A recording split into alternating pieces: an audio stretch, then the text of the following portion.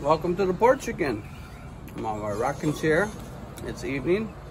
Uh, we're again looking at Time magazine, but first I want to tell you that one of my favorite authors is Naomi Klein, and I see her on Democracy Now!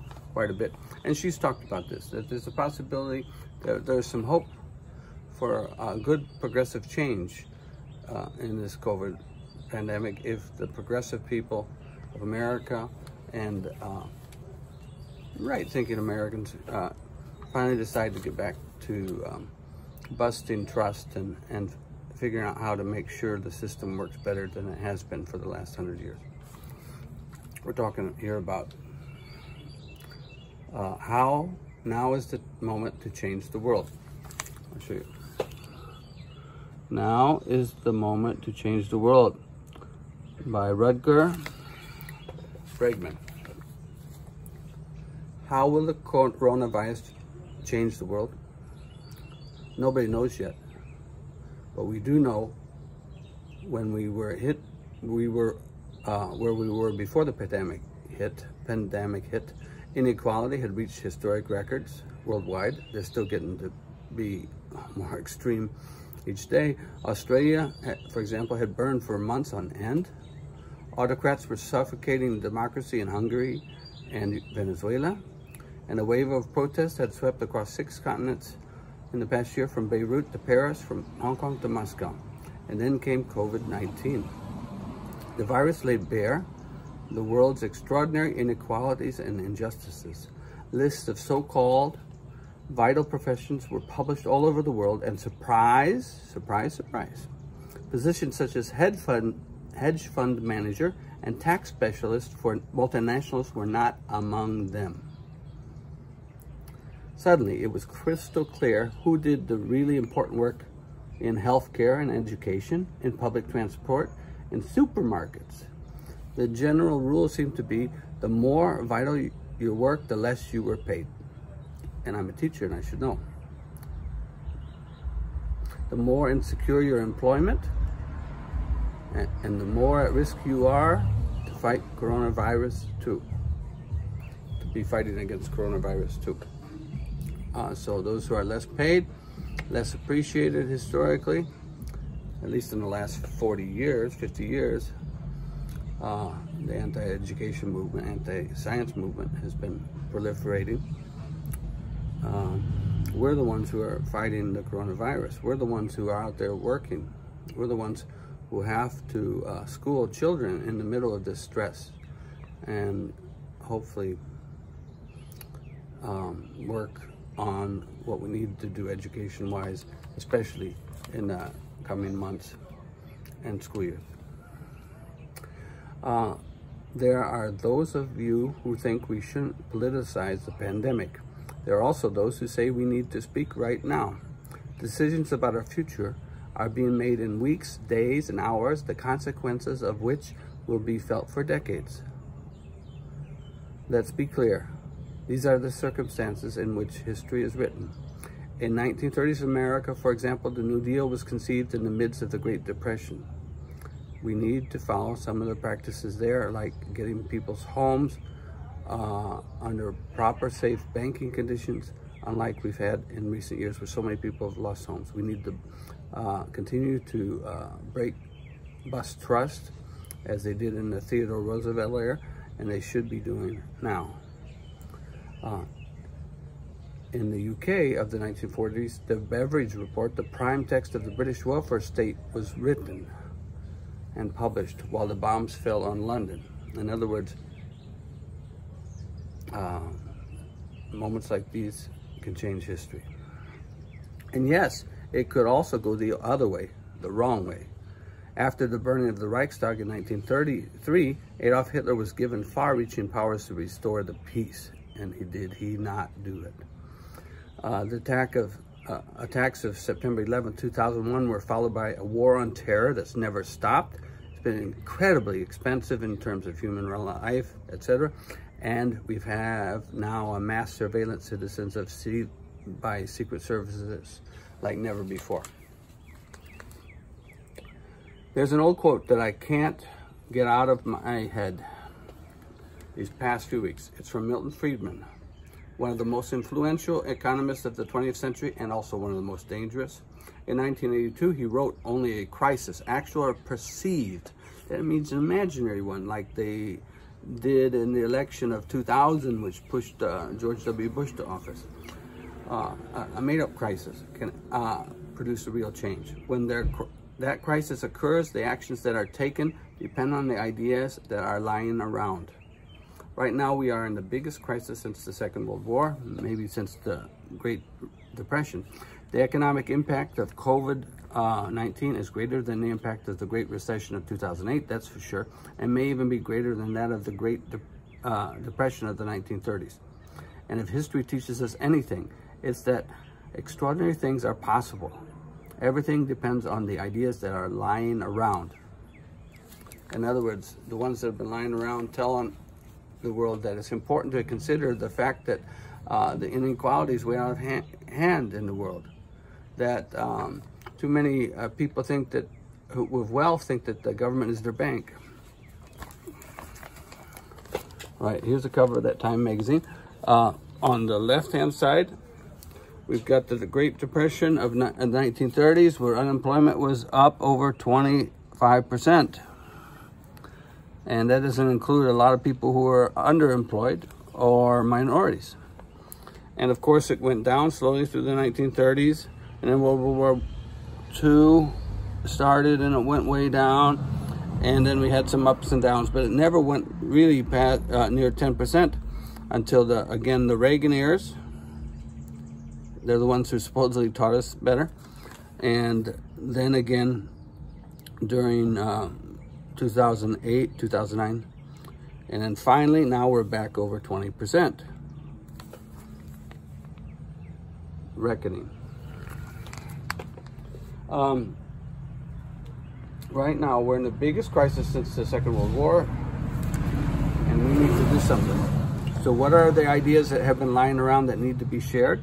In 2011, the protester was the Times Person of the Year. Since then, ideas that used to be dismissed as unreasonable or unrealistic have moved into the mainstream. Many of these have been by uh, pushed by radical rightist uh, think tanks, Nazism and stuff like that.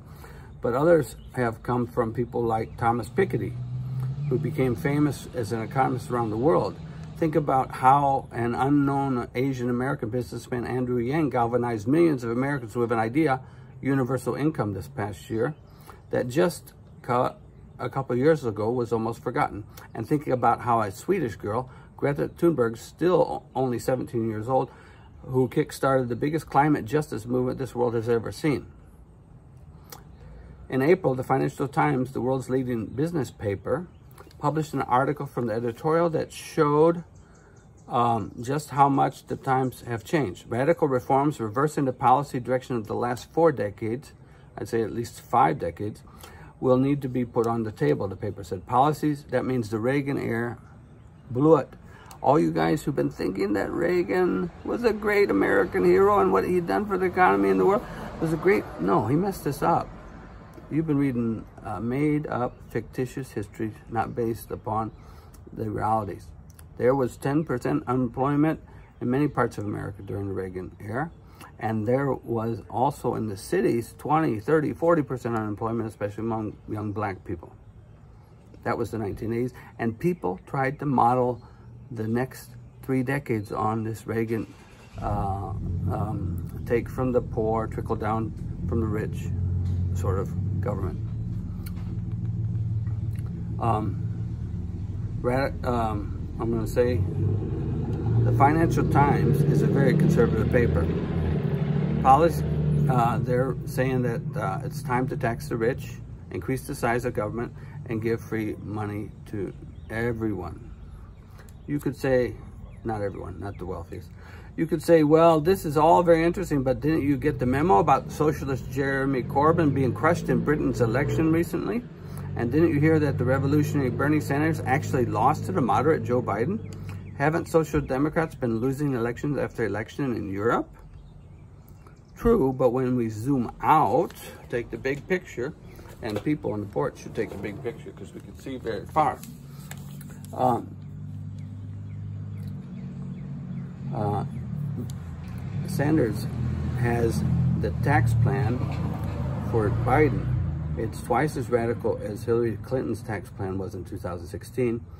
His 1.7 trillion clim dollar climate plan includes 30 times as much clean energy commitment as Clinton's in 2016 and is even more ambitious than that of Sanders four years ago.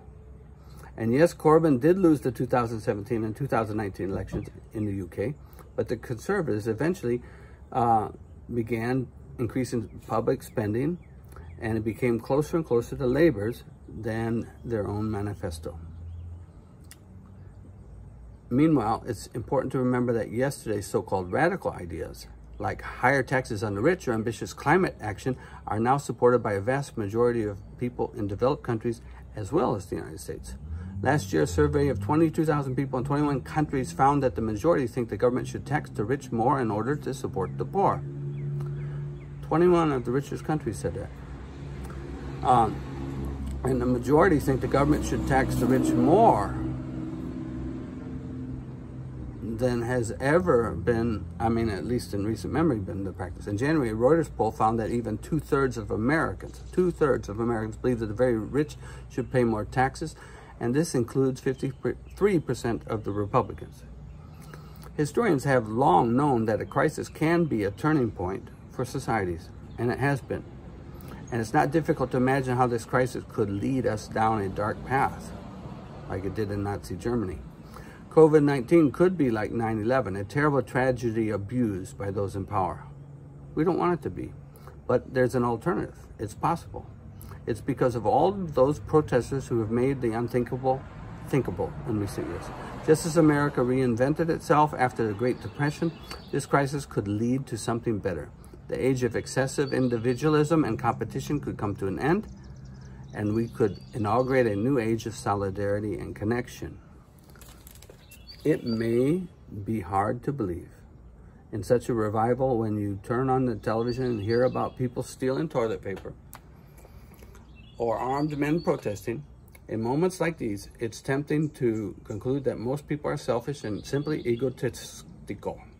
But we have to remember that the media often focus on the negatives and we need to take a look at the bigger picture. Again, from my porch, I can see far. uh, we'll see that the crisis deepens. Solidarity must boom, bloom, just as it's been happening recently until uh, people with guns started taking over Capitol buildings. Those jerks. There's been an explosion of altruism and cooperation in America. People singing from balconies, neighbors collecting food, volunteers sewing masks, doctors, nurses, and cleaners risking their lives on the front lines for us. For the past five years, I've studied how in the past uh, past decades, scientists from all over the world have switched from a cynical to a more hopeful view of humanity. Human beings, they say, have not evolved to fight and compete, but to make friends and work together. I'll say it again. Human beings have not evolved to fight and compete, but to make friends and work together. Our unique ability to cooperate may explain the success of our species in the long term and historically. In a time of extraordinary challenges like we're facing right now, when COVID-19 seems like just a prequel to the global climate crisis, we need to assume the best in one another. As a historian, I can't say I'm optimistic, but I'm hopeful because hope impels us all to act. Um, Bregman, who wrote this article, is a Dutch historian and a staff writer of uh, the Correspondent newspaper. Uh, his new book, Humankind, A Hopeful History, will be published on June 2nd. Um, this is the kind of stuff we need to be acting from. So as we get out of our houses, if it's safe, we need to look at the world outside and say, can we have a better day? Can we have a better day? Can we have a better day? Yes, we can have better days. We make better days for our grandchildren. It's going to take solidarity. It's not going to be easy, but it's going to take sharing, commitment. How about love first rather than property and, and uh, demanding more from the government by the wealthiest. It's going to take also people who uh, should be out working to get out and work, but support for those who are doing that. And other people are going to need to stay at home until we get the solution to this problem. We've got summer ahead of us, a long summer. I hope that the rate of in, or incidences of COVID-19 go down. And I hope your families are safe.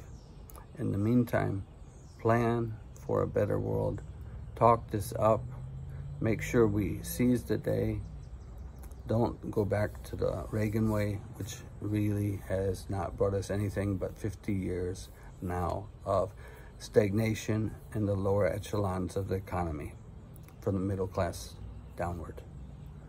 Uh, people are not earning what they should have been earning according to even statistics from the 1960s, early 70s. We have not been earning that, and we need to. We need to have stability, less stress in our lives. We need to be able to focus on things. No more just-in-time economy. No more just-in-time um, healthcare plans. No more just-in-time uh, solving problems or production. No more just-in-time saving the environment from uh, climate change. We must do a better job. I hope you join this movement. Have a good day from the porch.